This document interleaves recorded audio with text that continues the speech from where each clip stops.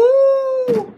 Dion, there's this girl on the internet named Morgan, and she says that she touches herself in my videos. What do you think about that?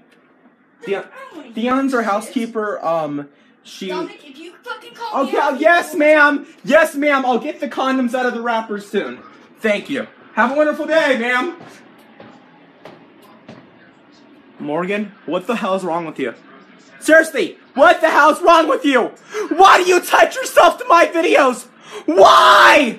Why? you better not have.